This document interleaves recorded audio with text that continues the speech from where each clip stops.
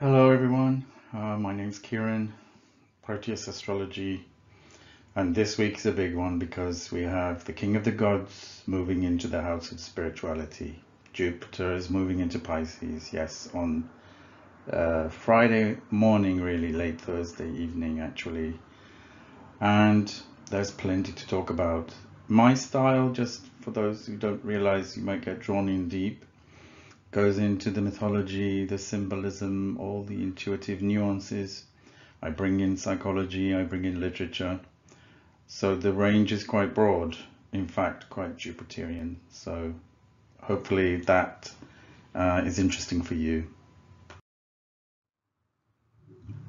So when I thought about this, it occurred to me that as a Sagittarian ruled by Jupiter, I hadn't really given enough time to make a full assessment of Jupiter and what it means in my life. Perhaps we need the benefit of hindsight to get a full picture uh, because when we're young, everything is ahead of us, not um, uh, not much behind us.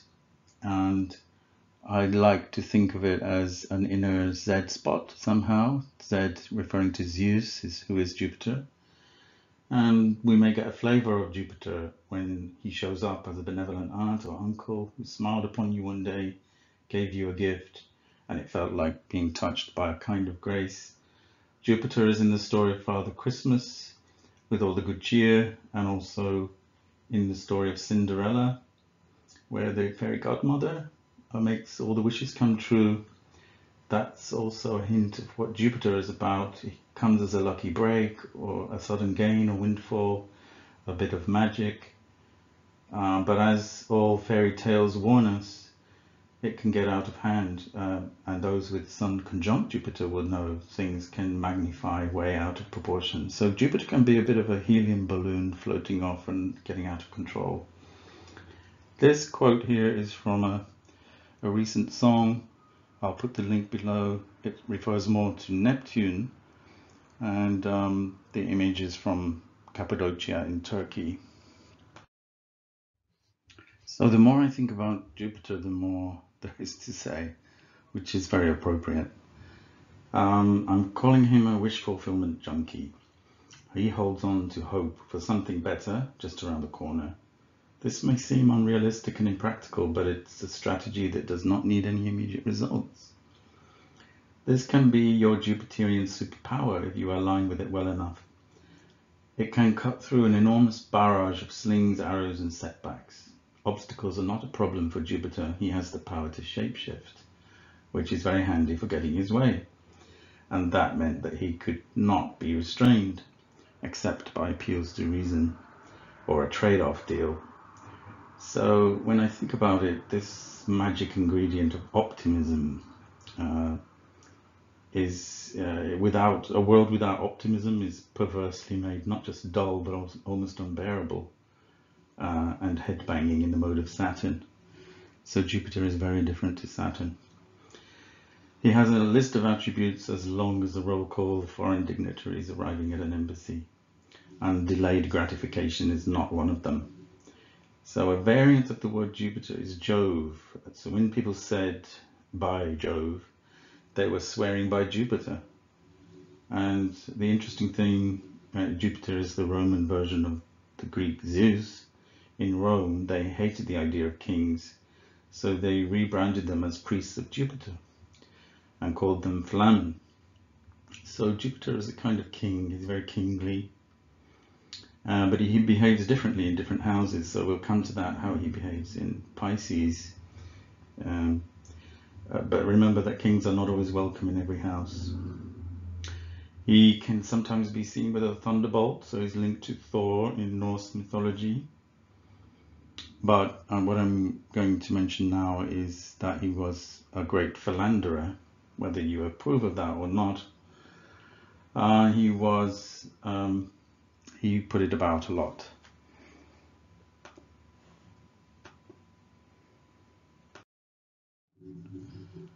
I was about to say also that when he's portrayed, it's usually as a, a, a forceful male figure with a beard and with with wisdom as well. So a little bit like the God of the Old Testament. There's a huge story to that, which uh, we won't go into. Or he has here a staff and um, Corinthian columns, and uh, I think the laurel of oak is associated with the oak and the eagle. So he has a lot of symbolism. You see the, also the lightning flashes in the background there. So while it may seem we're jumping around a bit, one of the themes of Jupiter is, I think, self-actualization. And the great psychologist of self-actualization was Abraham Maslow. But I think also his theory of the um, hierarchy of needs is very Jupiterian in a way because it's about aspiration and, and achievement. Uh, Jupiter is about hopes and dreams, and um, these these dreams appear less enticing when the goals are actually reached, because each level that you reach, uh, you can lose the motivational energy to reach the next one. So there's a paradox here, isn't there? So uh, Abraham Maslow, who's, who's an Aries, born April 1st, 1908, talked about this in his model, where each level, once each level is satisfied, we aspire to the next one. So it's the energy of desiring and aspiring that gives us the joy that we experience in life, not the attainment itself. Uh, so people confuse that. They think that everything is going to be fine when you get the goal, but I think this is what Jupiter teaches us. If if hope is not worn down from repetition, understanding this old adage helps to access this Jupiterian insight that it's the journey that's the goal, not the destination.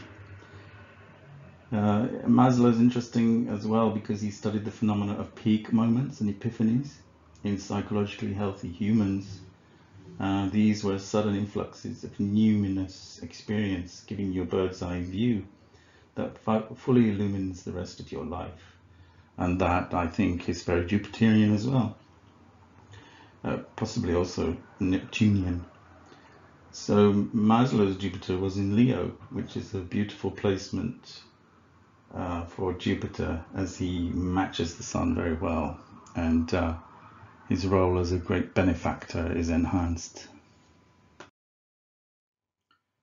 So we have Jupiter, we have Zeus, um, and Babylonian and Egyptian forms of this deity as well. So there is also Amun-Ra, the Egyptian, and Baal, the Babylonian deity.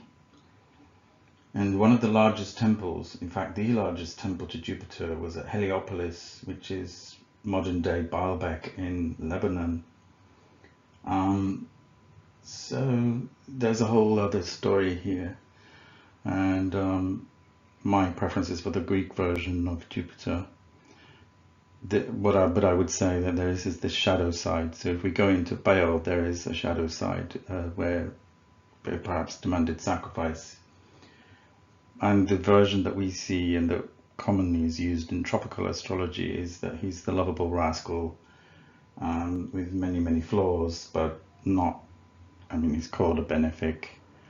Uh, and um, but the fact that he is colossal is what's important. So this was the this is a picture of Alexander at the temple of Jupiter Amun, um, and the it refers to the great size and vastness of his stature as a deity. So as we mentioned, um, he was uh, amorous, and could you could say polyamorous. And this is where all the juicy stories about Jupiter or Zeus um, occur. But I'll take you through a few of them here. This is Danae, uh, who apparently uh, was um, seduced by Zeus as in the form of a golden rain. And here we see uh, Zeus or Jupiter uh, in the form of an eagle seducing the, uh, it was said to be beautiful young boy, Ganymede. Um, again, there's a whole other story here that um, is is the, the gay side of uh, Jupiter, maybe a bisexual element, uh, uh, because Ganymede became famous as Jupiter's cupbearer So the stories get wackier. Uh, this is Io, and um, if he wasn't turning her into a cow to hide from Hera, uh, he turned himself into clouds to make love to her as a cloud. So I've seen online that people don't really understand this story very well. They can't quite get how a swan can be sexual, but I think this makes it very clear. So Leda um, was seduced by Jupiter in the form of a swan.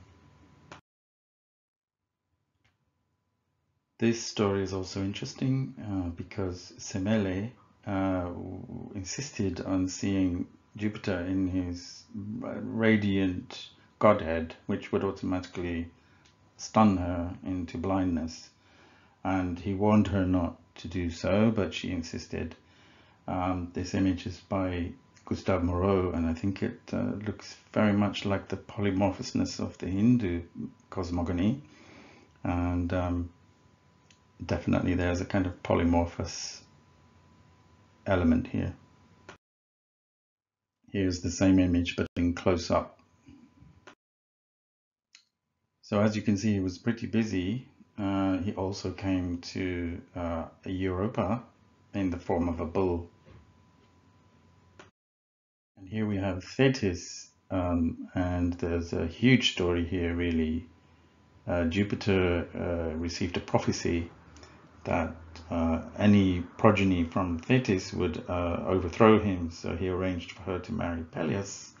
They had a wedding party, but someone forgot to invite Eris, the goddess of discord, and that uh, tri triggered the Trojan War. She she became the mother of Achilles, the hero, the great hero. So there's a lot more to Zeus than meets the eye.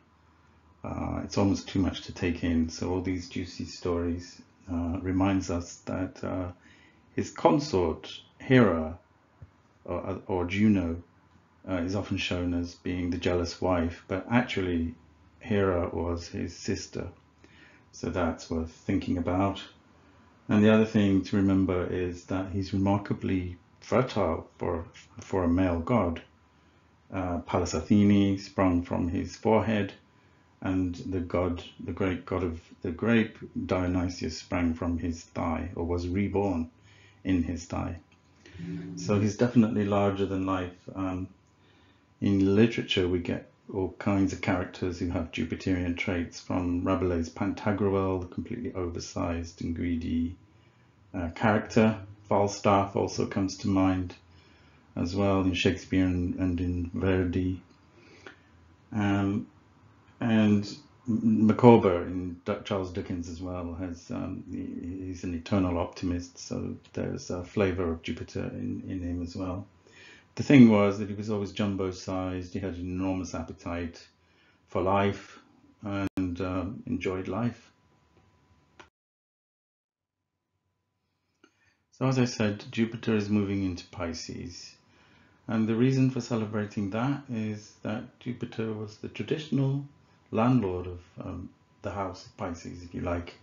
The modern ruler is Neptune, but um, traditional astrologers always refer to Jupiter as the, the ruler of uh, Pisces.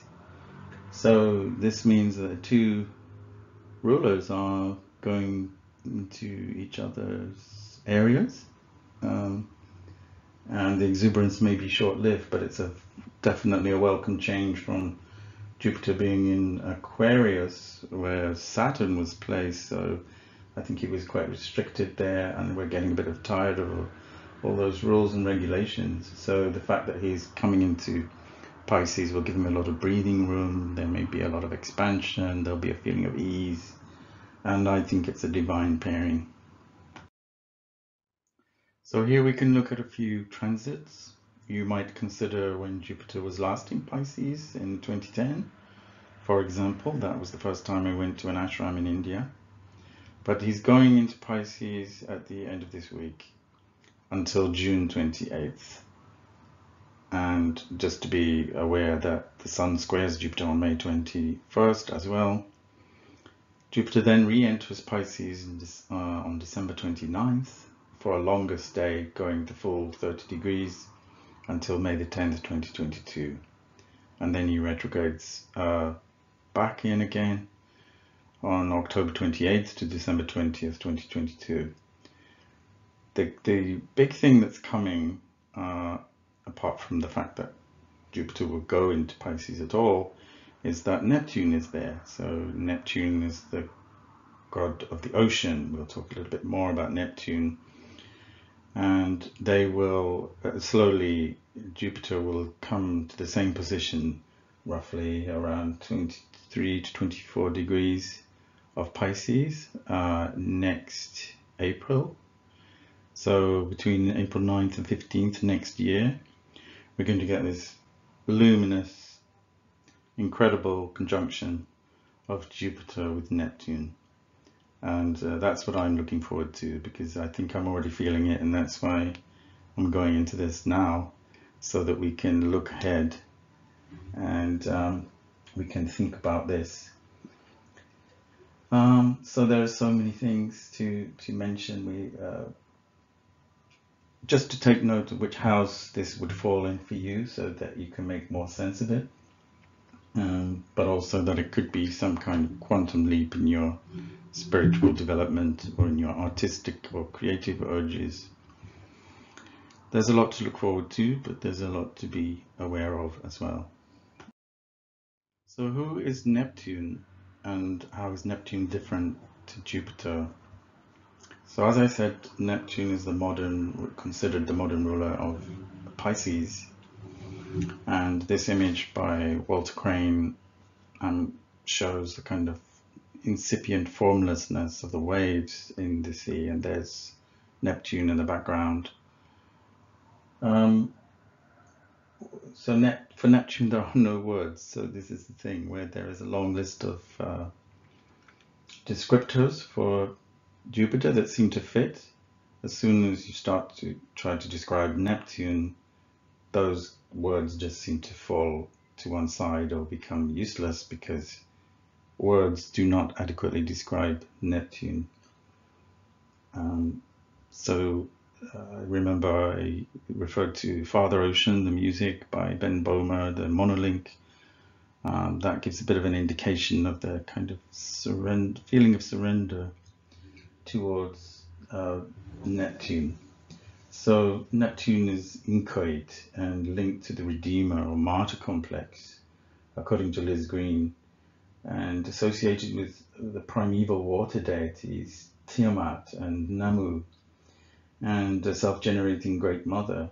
So Neptune, or otherwise known as Poseidon in the Greek uh, mythology, is associated with riding the waves. And uh, but this could drown people as much as he could um, help them. I think there's a part of the story of Ulysses where mm, Poseidon is brought along to drown either drown the sailors or to part the rocks to allow them to go through. So you get both sides of this monster of the deep.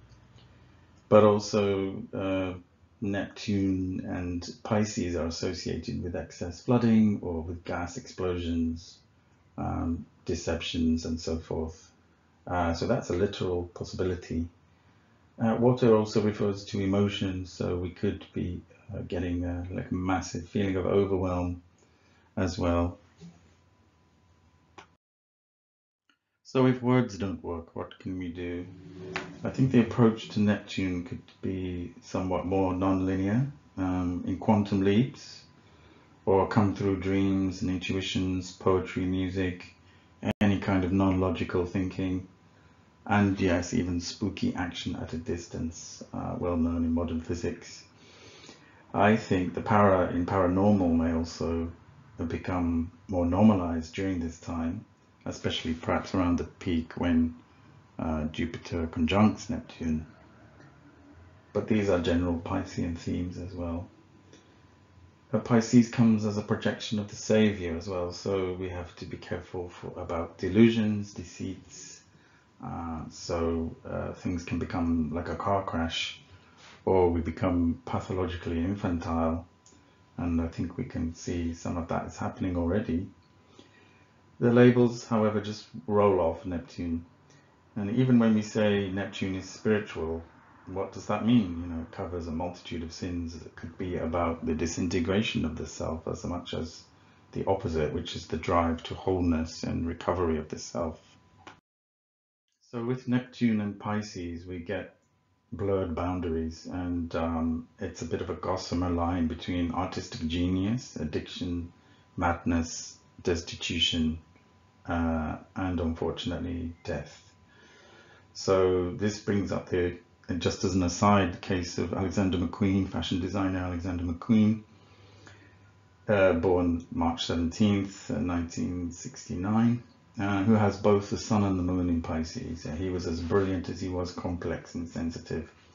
Uh, and, and, I don't know if you are aware, but his catwalk shows were incredible performance artworks that included themes of deep sea creatures, madness, and rape.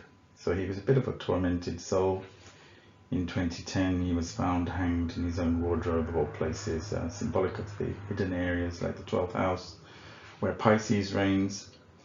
His Jupiter was conjunct Uranus uh, in early Libra, opposite to his Sun, Moon, and North Node in late Pisces. So that alone holds huge tension.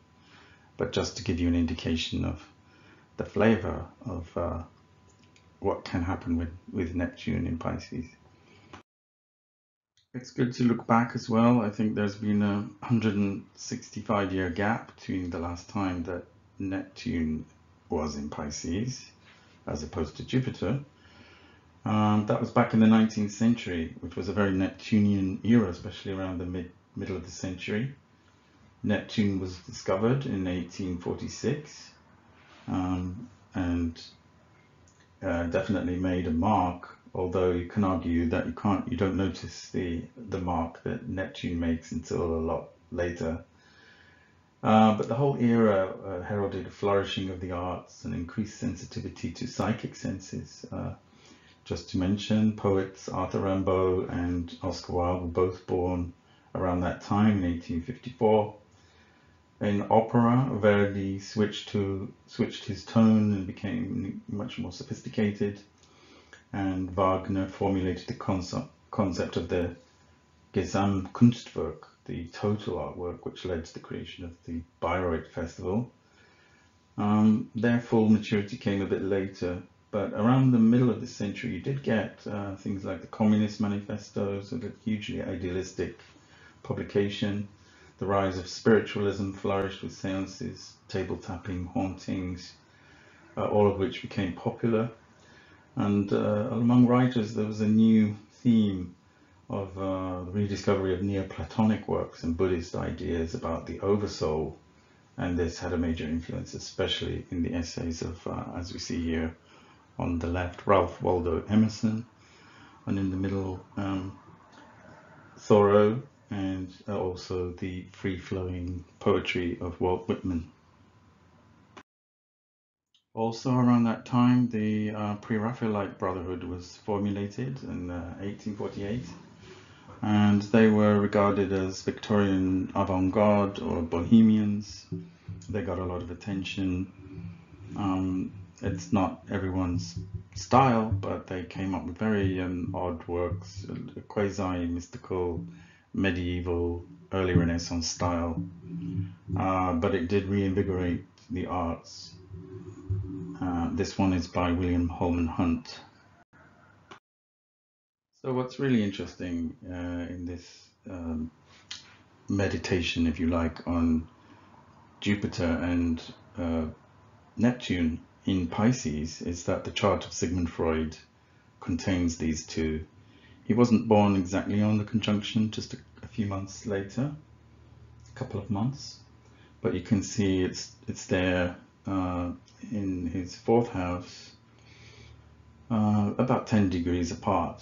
So this to me is really interesting. So um, it was exact on March 17th, the 20th, but I think it shows a great depth of thinking uh, because if anyone perhaps with the exception of uh, Nietzsche, who also had Jupiter in Pisces, uh, completely altered the way we think at a very fundamental level about the self, about the psyche. Remember that psyche refers to the soul.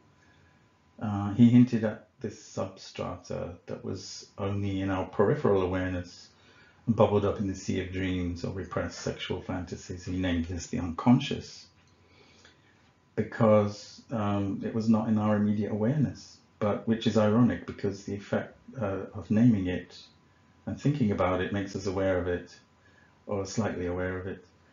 So he attempted to create a topography of the inner self, uh, but he did take on religion and mysticism, these Piscean themes, almost explaining them away to make them sound a little bit more scientific. But I, the feeling is that he has a, had a sneaking admiration for those who could feel this God love thing that he could not share, but he tried to analyze it. So, but he did help to transition us into the modern era where psychotherapists became the new shamans and priests, basically, taking uh, this role of Neptune, this uh, spiritual uh, role.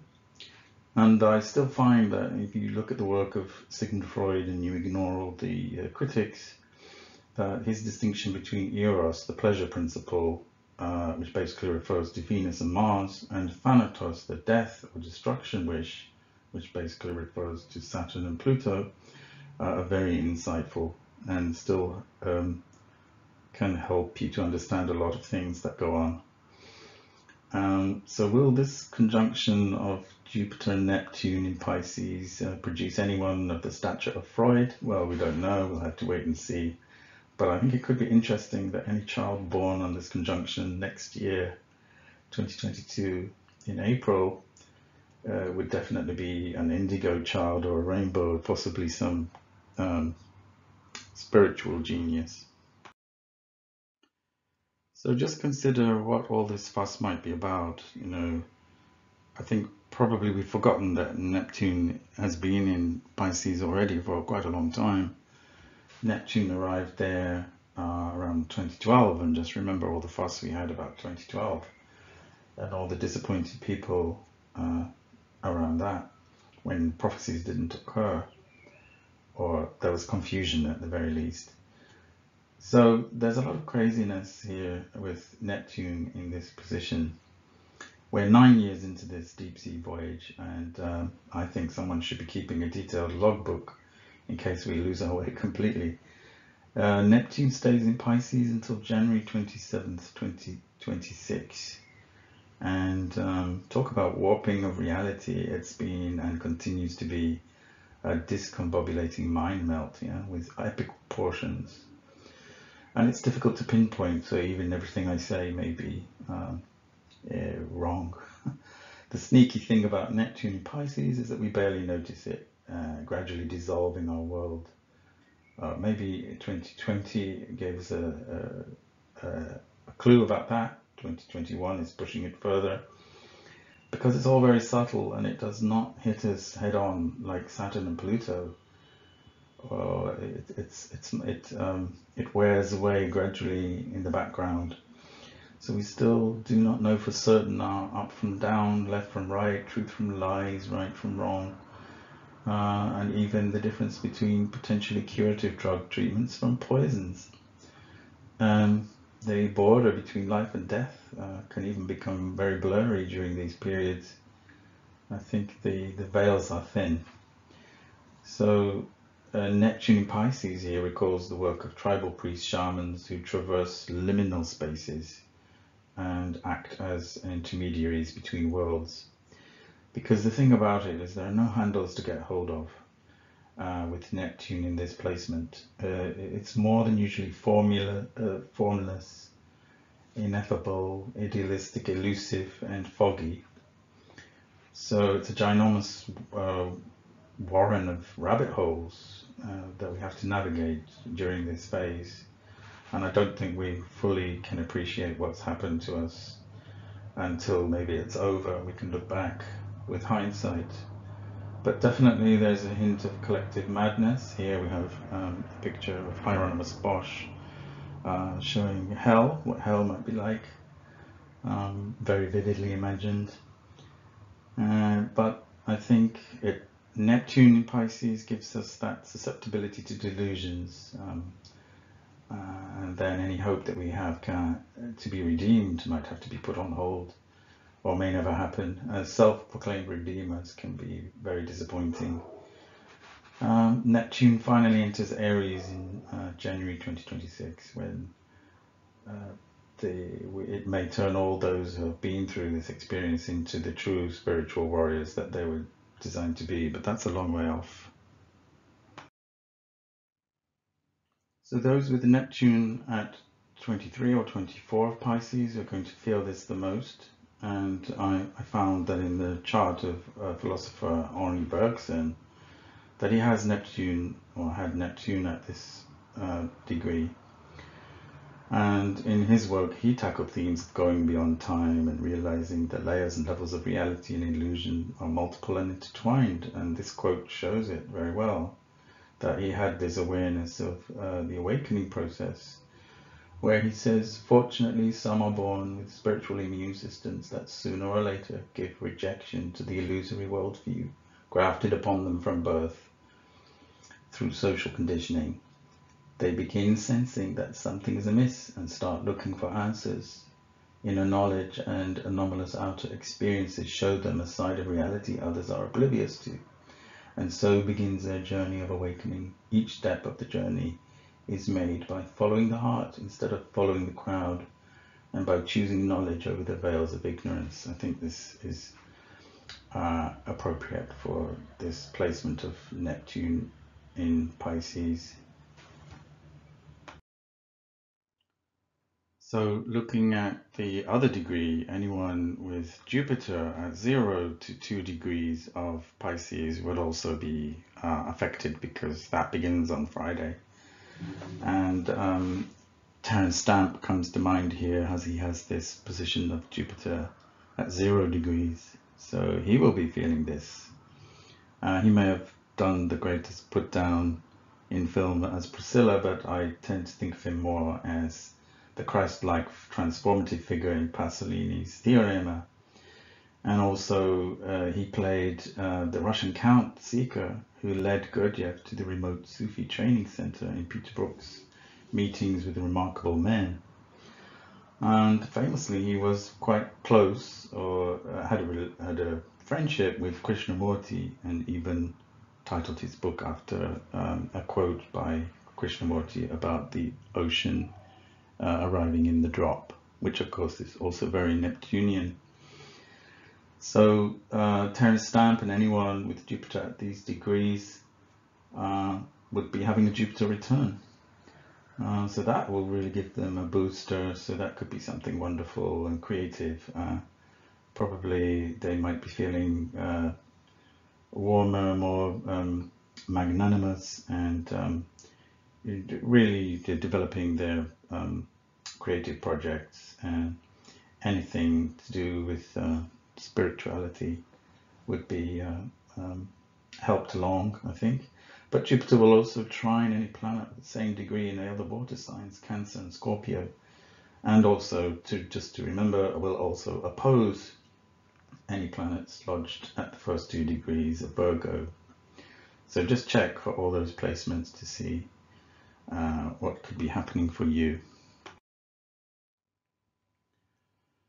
So what can we expect from this? Um, I'm going to summarize now basically. Uh, I, am definitely looking forward to this transit, um, but I have to bear in mind all the other things that are going on in everyone's charts and uh, in the world at large. So I think we can be positive about it. On, so on that side of things, we may all receive a massive upgrade of uh, energy um, and warm to our fellow humans a little bit more than we have been doing. So a little bit more compassion might be on the cards. Definitely with Jupiter there, there might be an unprecedented, unprecedented depth of interest in higher learning. So studying philosophy or natural law, universal principles such as um, Karen Armstrong's famous uh, emphasis on the golden rule, which she said was the underlying core philosophy of all world religions. And uh, but I also think that uh, because Neptune is associated with films, that we might get some epic scale films in uh, along the, the likes of uh, Lord of the Rings um, or the epic time traveling film Interstellar uh, that kind of bends your mind a little bit to encompass new ideas. Uh, so that could be really interesting. So, and I think Jupiter will ensure that these stories will be on an epic scale or epic heroic scale. But on the um, negative side, um, this conjunction, we may become more ensnared further into the spider's web of delusions, um, and that might spin even more confusion that we already have. Uh, so just to be aware of that, these two planets are both vast and multifarious. And I'd like to believe that we, we can manifest the best side of these two, and that will spark a transcendent sense of unity, soul bonding on a global level. But we can only hope for that. Uh, it could thrust you beyond your usual limits and so challenge you uh, to, to keep boundaries or to keep your feet on the ground. Um, you may lose sense of proportion or end up sacrificing things that you may regret later. Uh, hopefully this won't be uh, in the transition of uh, a mortal body eh, or even into an NDE, which is a near-death experience. But uh, every era has its new words, and I think one that comes to mind that blends Jupiter and Neptune is hopium. Um, you know, a mixture of hope and opium. But um, I always recall that uh, when Pandora was too curious and opened the box with all the all, all the evil spirits were let out into the world, that the very very last last creature that crawled out of the box was hope. So make of that what you will. Um, what I might be doing is planning for a pilgrimage. I think uh, that could be a good thing to do around that time. Uh, I do have a couple of plans there. But I think what's cool is that they're both uh, in their own sign. And uh, so that unhinders them. They'll be like unhinged and really comfortable being who they are. And together, it's going to be a super booster no matter which way it affects you. Uh, but it could rely just upon your own the quality of your own consciousness, you know, how that develops. I think it's important to be cautious, but also uh, to uh, hope, uh, but not to pump up the hope, uh, because I think the psychological rule is the higher the expectation, the deeper the disappointment. But similarly, uh, the harder the struggle to achieve against the odds, the greater the final triumph. But at least look to where Pisces is in your natal chart. Uh, please do that because this would not make sense otherwise. And um, it, it, could be in, uh, because remember, Jupiter will go across 30 degrees and that could cross two houses. Um, or it could uh, encompass only one, but it, it, depends. So I'm going to just go through the, each house um, and remember that for the next, I think 76 days, um, that's where it will be. Then it will dip back into Aquarius before it comes in again later this year. So in the first house, um, this could affect your physical appearance, perhaps even expanding it or changing your your appearance to a more flowing or lighter style with more unusual colors. Or it could affect the way you um, uh, appear through your skin. Uh, that comes, you know, clearer eyes and a glow that comes from deeper meditation. If Jupiter is in the second house, it could have an impact on your values, broadening them to establish greater security or to boost your finances and um, ideas of where you want to settle. But it could also uh, mean poor judgment about financial risks and overestimating the value of things. If it's in the third house, uh, it would bring opportunities to expand your need to study world cultures and languages, or to investigate ancient traditions and worldviews different to your own uh, perhaps even to teach or to promote these subjects. Um, information, however, remember, can easily reach overload and um, being data driven totally has its downside. If, it, if Jupiter is in the fourth house, it could resolve uh, you to expand in your home with an extension or to renovate um, or perhaps to connect with your family a bit more, to be in touch with your ancestors even, and just to expand your consciousness uh, into your home space and make it that little bit more of a temple sanctuary. Uh, just be aware of escaping the outside world here, so using that and avoiding your work uh, by uh, escaping to your home. In the fifth house, it could be a massive inspiration to your creative projects. You could get all kinds of new ideas uh, or take on a plan that is much larger in scope than you have ever done before, perhaps collaborating with other people or uh, producing that greater work, the bigger than bigger than ever. Uh, or it could relate to other countries, uh, traveling perhaps, um, even if that means um, being an armchair traveler, just exploring more in your mind.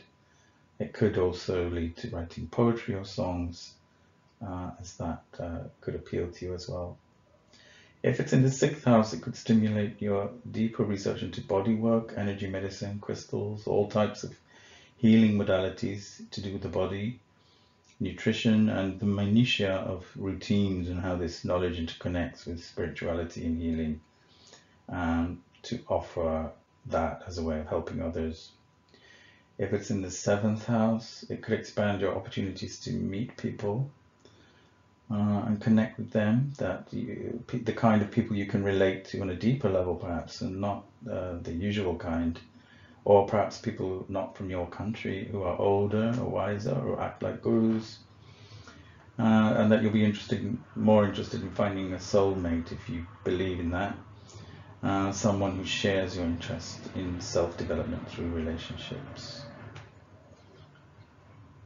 If it's in the eighth house, uh, it could plunge you deep into research, study of psychology or the occult, um, produce intense emotions related to deaths or inheritances where boundaries are crossed uh, about who has the power and who does not. Uh, this could leave you scarred, but with an awareness that um, the difficult experiences are ultimately therapeutic uh, and so beneficial if Jupiter is in the ninth, it's in Sagittarius' own house here, so it kind of trebles the intensity of all leanings towards the higher mind, to higher learning, religion, philosophy, the law, with a big uh, dope of compassion in these areas and maybe the acquisition of wisdom. Uh, it could mean travel too, or, or deeper reflection and meditation on the meaning of life. If it's in the 10th house, it will reach you in your public reputation. So the way you organize yourself um, and become uh, the CEO or whatever it is, the business that you are running. Uh, but you may consider having a makeover or expanding your public role and, and uh, keeping control of your superego or that the realization you've been clinging on to traditions too much and need to ease off from work or too much work, workaholism, and to take a break, change jobs, uh, retire, or uh, give up your adherence to rules. If it's in the 11th house, uh, it could boost your ideals to create a new system of social order new communities and charity groups online and promote political and legal reform. And these could grow at a rapid rate and be difficult to control, uh, and you could feel yourself becoming a victim of this, the very system that you set up, um, because there may be too many rules. And so the focus should be on humanitarian or human rather than humanitarian projects and less on allowing systems to suppress the individual and finally, if it is in the 12th house, um, it, it may not be apparent at all here uh, because uh, this is the house of uh, hidden things. So it could just appear in your dreams and uh, you could be more attracted to being secluded or going into the interior spaces and any energies that Jupiter Neptune may have just could be like sleeper agents in your life producing a huge number of um, recurring synchronicities. So watch out for those. So I hope you liked my review of uh, Jupiter, Neptune, Pisces, and the whole uh, mythology of it. Uh, it was it's uh, quite a journey, um, but I've enjoyed doing this. Um, but I'm never sure uh, about how uh, you know, once I get into a topic, it can go so deep. So I hope that suited your uh, style as well as mine. Uh, what I'm not so good at, I think, is uh, the uh, promotion side. So I need to keep reminding myself to say who I am, where I can be found. You can find me on this email here, usastro at protonmail.com or at my website, www.proteusastrology.co.uk.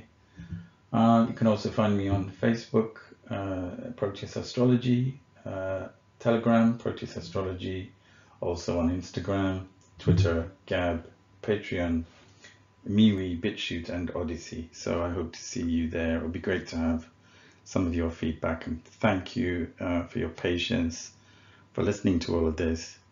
And uh, I hope you got something out of it. Thank you very much.